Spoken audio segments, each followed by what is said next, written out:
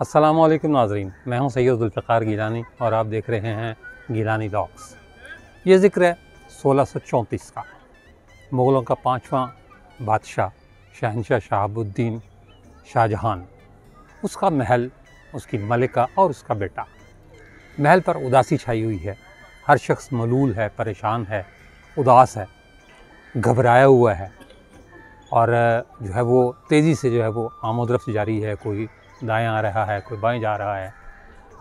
अजीब अफरा तफरी का आलम है। पता ये चला कि शाहजहां का जो बेटा है, वो शदीद बीमार है और कई महीनों से बीमार है। हल्का सा बुखार हुआ था, लेकिन उसके बाद बुखार बिगड़ गया और नौबत यहाँ तक आन पहुँची कि वो चारपाई से लग कर रह गया। जितने हकीम थे, तबीब थे, सबने अपने अपना इलाज अपनी अपनी कोशिश करके देख ली, लेकिन उसका बुखार नहीं उतरा। और बजाय उतरने के, वो इस कदर लागिर हो गया कि वो उठकर बैठ भी नहीं सकता था। किसी दरबारी ने शहनशाह की खिदमत में अर्ज़ की कि सरकार, एक अल्लाह के वली हैं, अगर उनसे दुआ करवा ली जाए तो बेहतर है। कुछ हकीम, तबीब उन्होंने मुखालफत की, उन्होंने कहा कि ये तो बीमारी है, इसका दुआ से क्या वास्ता? इलाज तो वैसे भी सुन्नत नबवी है, इलाज होना चाहिए। लेकिन जब इलाज कारगर नहीं हुआ तो ख़ुद शाहजहां के दिल में ये बात आई कि क्यों ना उस वली कामिल को आजमाया जाए और उससे दुआ करवाई जाए। उसने उसी मुसाहिब को तलब किया और कहा कि उस वली अल्लाह को बुलाओ कि जो है वो आकर मेरे बेटे के लिए दुआ कर दें। उन्होंने कहा कि वो वली जो है वो दिल्ली में नहीं रहते, वो लाहौर में होते हैं। लिहाजा शहज़ादे को लाहौर ले जाना पड़ेगा। तबीबों ने कहा कि ये तो उठकर बैठने के काबिल नहीं है और दिल्ली से लाहौर का सफ़र और इतना तवील सफ़र और इतनी कठिन मराहल, बेशक शाही रथ जो है, वो बहुत आरामदेह हुआ करते थे। लेकिन ये मुमकिन नहीं था कि कई रोज़ का सफ़र जो है वो शहज़ादा कर पाता। शाहजहाँ ने यह कहा कि वली की खिदमत में जो है वो एक अर्ज़ी भेजी जाए, कुछ लोगों को भेजा जाए और उनसे दरख्वास्त की जाए कि वो दिल्ली तशरीफ़ ले आए। शाहजहां के फ़ौज का दस्ता और उसके कुछ कासिद लाहौर में उस वली कामिल के पास पहुँचे।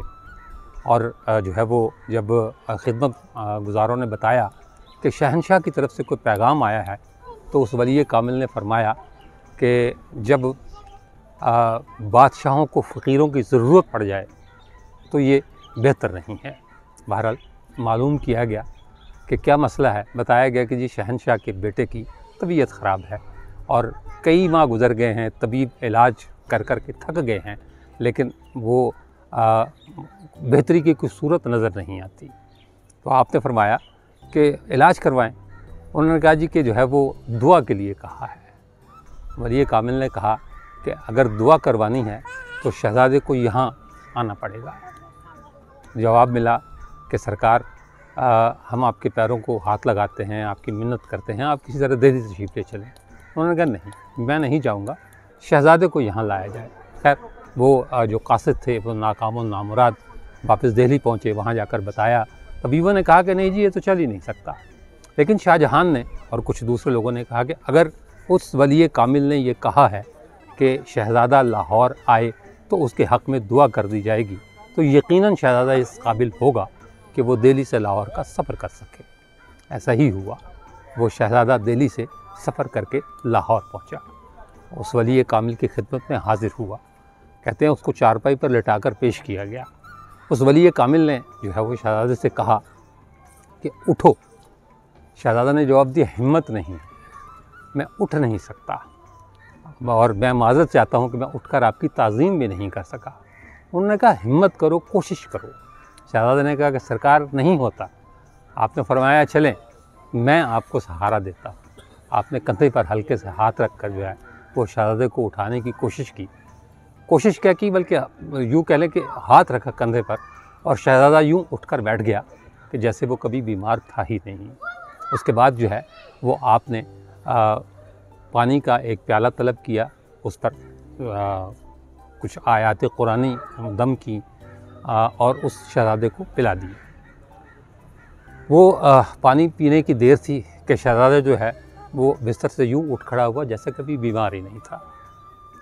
उस शहजादे का नाम था दारा शिको और जिस वली कामिल के पास वो आया था, उनका नाम है हज़रत मोहम्मद मियाँ सरकार, जिन्हें शाह मीर शाह जियो भी कहा जाता है। आज हम उन्हीं के दरबार पर हाज़री के लिए तशरीफ़ आए हैं और उनको सलाम करने के लिए आए हैं। इसी दारा शिको ने आगे चलकर एक किताब लिखी जिसका नाम था सकीनतौलिया अलिया कराम के हवाले से इससे मुस्ंद तरीन किताबों में शुमार किया जाता है। हज़रत मियाँ मीर के ज़्यादातर हालात ज़िंदगी उसी किताब में दर्ज हैं और उस किताब में ये लिखा हुआ है कि ये वाक़ जो मैंने अभी आपको बताया है, ये 15 अप्रैल 1634 को पेश आया। और उसके बाद जो है वो दारा शिको आपका ऐसा मुरीद हुआ कि उसने ये दर कभी नहीं छोड़ा।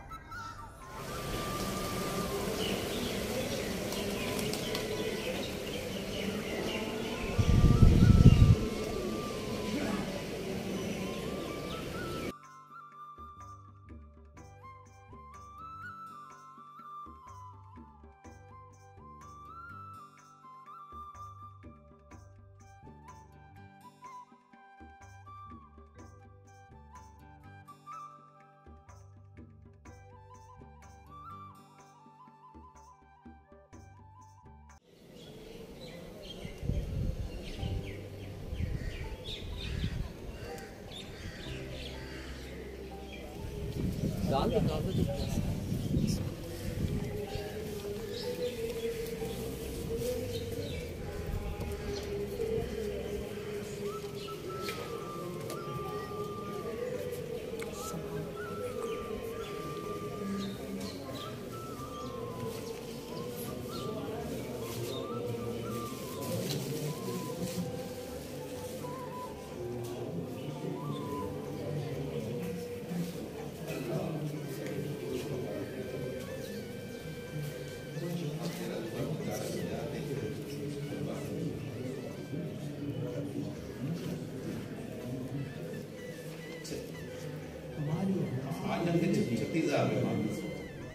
सिंध का इलाका ठट्टा से भक्कर के दरमियान एक ज़माने में सेवस्तान कहलाया करता था और उसका एक शहर है सेवन जो लाल शहबाज कलंदर के वजह से भी आलमी सतह पर मशहूर है। हज़रत मोहम्मद मियाँ वीर सरकार आ, उसी सेवन में पैदा हुए। साईं दत्ता आपके वालद ग्रामी का नाम था और बीबी फातिमा आपकी वालदा मोहतरमा का नाम था। बचपन में वालद का इंतकाल हो गया। तकरीबन 12 साल के थे जब जो है वो आपकी वालदा मोहतरमा ने आपको ये हुक्म दिया कि जाओ और आ, किसी से आ, किसी अल्लाह वाले से रहनुमाई हासिल करो। 12 साल की उम्र एक बच्चे की उम्र होती है। आप घर से निकले और जो है वो पहाड़ों की तरफ़ चल दिए वो इलाका जो है वो पहले भी पहाड़ी था आज भी पहाड़ी है। जंगल पहले भी होते थे, आज भी हैं उस इलाके में जंगल। तो आप जो है वो जंगल जो है उसमें से गुज़र रहे थे। एक बचपन एक बच्चा होने की ऐसे से कुछ दिल में कोई खौफ भी था। लेकिन साथ ये भी जो है वो यकीन था कि अल्लाह मेरे साथ है। वो मेरी हिफाजत करने वाला है। आप जो है वो आपने जंगल पार किया, रात गुजर गई। जब आप जंगल के दूसरे कोने पर पहुँचे, दूसरे सिरे पर पहुँचे तो उन्हें एक तंदूर दिखाई दिया, जिसमें से बाकायदा जो है वो आग भड़क रही थी। आपने वो उस तंदूर को देखकर ये सोचा कि अगर तंदूर जल रहा है तो यकीनी तौर पर जो है वो कोई करीब इंसान भी होगा। लेकिन उस वक्त फौरी तौर पर उन्हें कोई इंसान नज़र नहीं आया। रात गुजर गई, सुबह हो गई, आप उसी तंदूर के पास थे तो जो है वो दूर से जो है वो एक साहब आपको आते हुए दिखाई दिए। आप जो है वो उनकी तरफ़ बढ़े। तो बारिश, बुज़ुर्ग ने उनसे पूछा कि मोहम्मद मीर, तुम किसकी तलाश में हो? आपको बड़ी हैरत हुई कि वो बारिश, बुज़ुर्ग ने जो है वो आपको नाम से मुखातिब किया है। आपने कहा कि मैं हज़रत खज़र की तलाश में हूँ। लेकिन आप मेरा नाम कैसे जानते हैं? तो उन्होंने कहा कि, नाम तो मेरा भी खज़र है और मुझे तुम्हारा ही इंतज़ार था। आओ मेरे साथ। कहा जाता है कि वो आपको जो है वो हज़रत खज़र से सानी जो है वो अपने वक्त के जैत जो है वो उल्मा, वली, सूफ़ी, बुज़ुर्ग, वो आपको साथ ले गए और आपने एक तवील अरसा जो है वो उनकी सोहबत में गुजारा। अगर ये भी तस्लीम कर लिया जाए कि वो 12 या 13 साल की उम्र में हज़रत खज़र से मिले थे तो वो 25 साल की उम्र तक उनके साथ रहे, यानी 12 या 13 साल। और उसके बाद जो है वो आपको अपने मुर्शद की तरफ़ से ये हुक्म मिला कि आप लाहौर चले जाएँ और आप लाहौर आ गए। और फिर ज़िंदगी भर जो है वो आपने लाहौर को खैरबाद नहीं कहा। कहा जाता है कि आप कमोबेश साठ साल लाहौर में मुकीम रहे और जो है वो लाहौर में अपने इल्म की रोशनी से इस शहर को मुनवर करते रहे।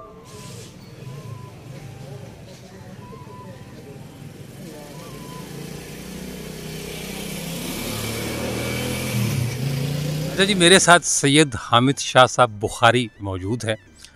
ये हज़रत मियाँ मीर सरकार की दरगाह पर आए हैं हाज़री के लिए और हम इनसे बात कर रहे हैं। सरकार, आप कब से आ रहे हैं इस दरबार तो मेरी हाज़री काफ़ी अरसे से इधर है। तो अल्हम्दुलिल्लाह, कामल जो वली है ना, जो अल्लाह के वली, इनकी शान ही निराली होती है। ये हज़रत मियाँ मीर सरकार की बात करें, हज़रत दाता हजवेरी रहमत ताला की बात करें, या पीर मक्की की करें, या बादुल्लाल हुसैन, या और अल्लाह के जो वली हैं, अमाम बरी है तो इनकी एक शान ये है कि अल्लाह ने इनको दोस्त कहा है। सबसे प्यारी बात कुरान में जो ज़िक्र है, जो अल्लाह के वलियों को नहीं मानते, उनके लिए तो एक कुरान की जब एक बात वाज तौर पर अल्लाह ने फरमा दी है कि ये अल्लाह के जो वली हैं ये मेरे दोस्त हैं। अब दोस्त कौन होता है? जो अल्लाह के करीब हो जाता है जो अल्लाह का ज़िक्र करता है जो अल्लाह की बताई हुई बातों पर अमल करता है और लोगों को इस दीन के रास्ते पे चलाता है जब वो अल्लाह का काम करता है तो वो दोस्त बन जाता है अल्लाह का। आप क्या मांगते हैं यहाँ आकर? हम तो दुआ मांगते हैं ये दुआ कि या अल्लाह ये तेरे बुज़ुर्ग हैं नेक बंदे हैं। तो इन पर तूने बड़ी अपनी रहमतें नाजल की। इनके दर्जे भी बुलंद कर और हमें इनकी राह पर चलने की तफीक किताब फरमा कभी कोई मन्नत भी मानी है? मन्नत ये है वसीले के साथ हम वसीले के कायल हैं। अहले सुन्नत जो अकीदा है ना वो वसीले का कायल है। वसीले को मानता है तो हमें कहते हैं कि अल्लाह इन बुज़ुर्गों के सदक़े अपनी रहमत का हम पर साया कर। तो क्योंकि वो नेक हैं हमसे बहुत बुलंद हैं लोगों से बहुत बुलंद हैं तो हमें एक वसीला जो है ना वो अल्लाह ने दिया हुआ है। जो लोग कहते हैं कि यहाँ वलियों के दरबारों पर आना शिरक है। देखें जी शिरक को वो समझते नहीं हैं। जो ये बात करते हैं ना उनको शिरक का पता ही नहीं है बिद्दत का पता ही नहीं है। शिरक की बात अब लिखी है तो शिरक कोई भी नहीं करता। शिरक का मकसद बड़ा एक अलहदा है और जो शिरक करता है वो दीन से फारग हो जाता है। वो मुसलमान नहीं रहता, जो शिरक की बात है। तो ये शिरक नहीं है कि आप अल्लाह के बलियों पे आए, आप कब्रस्तान जहाँ पर आप दुआएँ, जब हुक्म है अल्लाह का तो फिर तो हमें ये वास्ता और ये मामले और कब्र पे हाज़री और दुआ, ये सारे सिलसिले अल्लाह के नबी ने बताए हमें। अल्लाह के नबी भी जो थे, वो भी जाते थे। फिर अल्लाह के नबी के पास जब आप दुनिया से आप जो पर्दा कर गए तो दुनिया जाती है वहाँ। तो अगर ऐसी बात हो तो फिर दोस्तों के पास आना किस बात का शिरक हो गया? सर, बहुत शुक्रिया बहुत शुक्रिया आपका आपने हमसे बात की।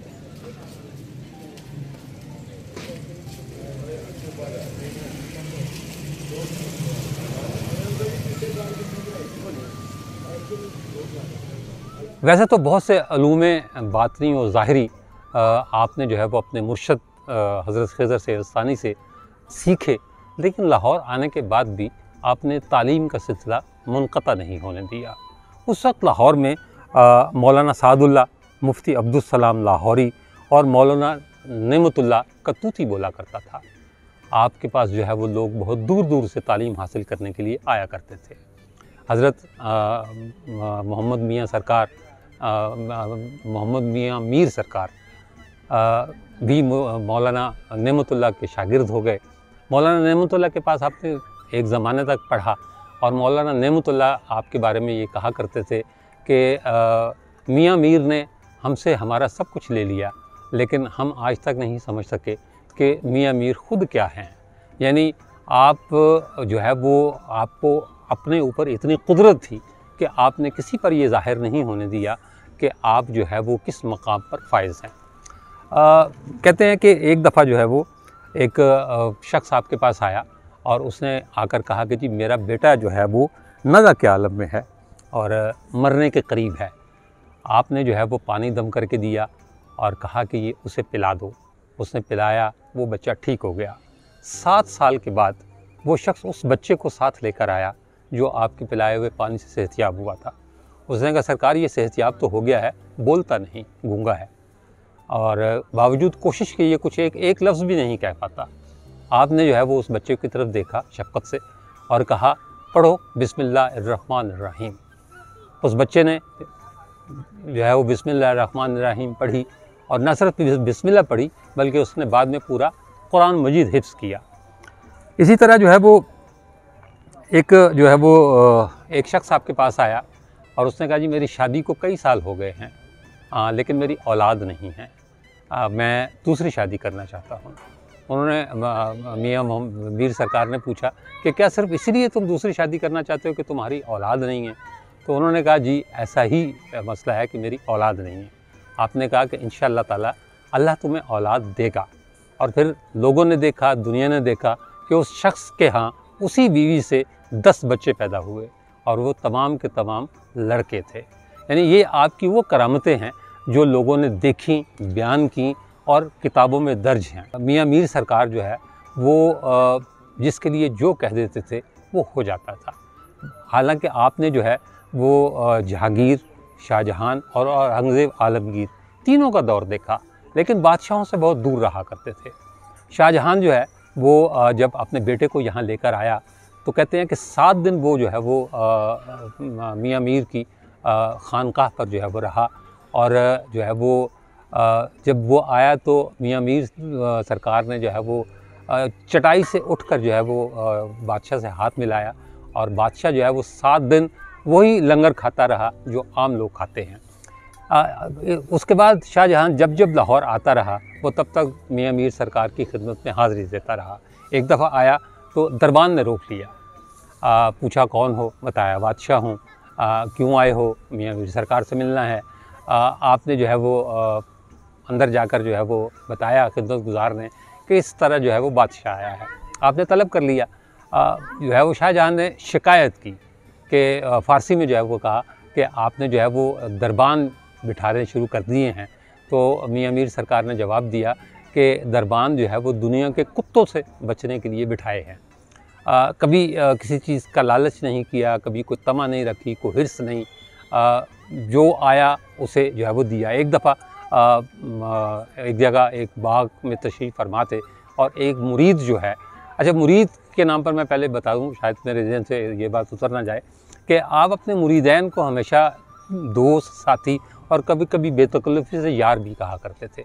कभी जो है वो उनसे वो ताज़ीमत नहीं करवाई जो आम तौर पर जो है वो लोग करवाते हैं बहुत करीब रखा करते थे। तो एक मुरीद जो है वो आपके जो है वो पाँव दबा रहे थे कि एक तरह से एक काला नाग जो है वो निकल आया। मुरीद का रंग फ़क हो गया।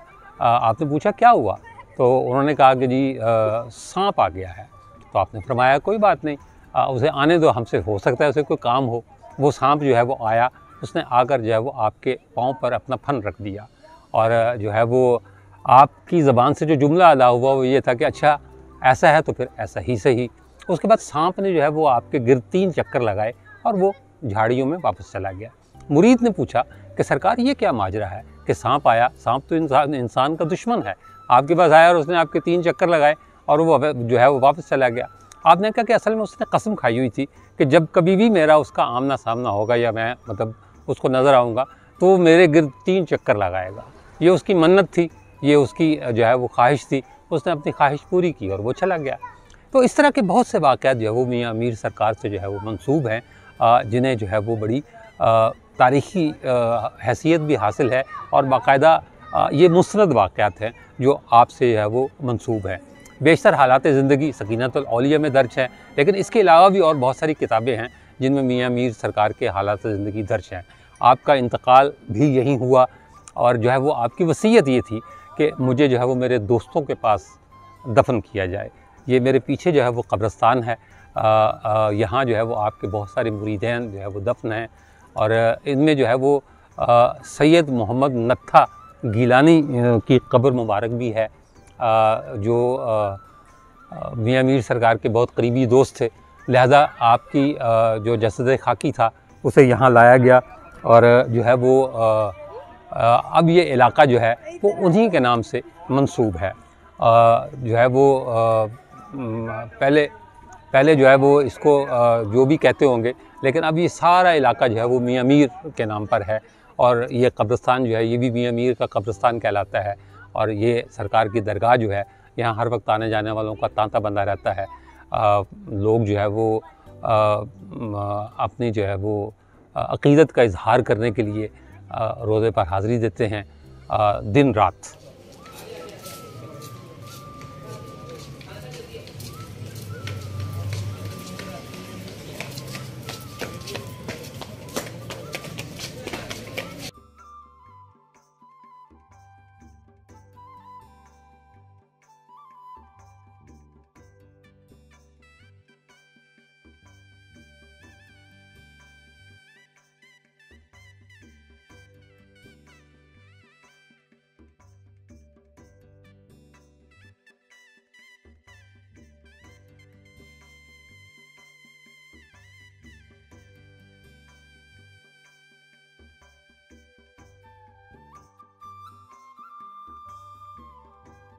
हज़रत मियाँ मीर सरकार के साथ मुसलमानों की अकीदत थी ही थी। सिख जो है, वो भी आपके बहुत करीब थे।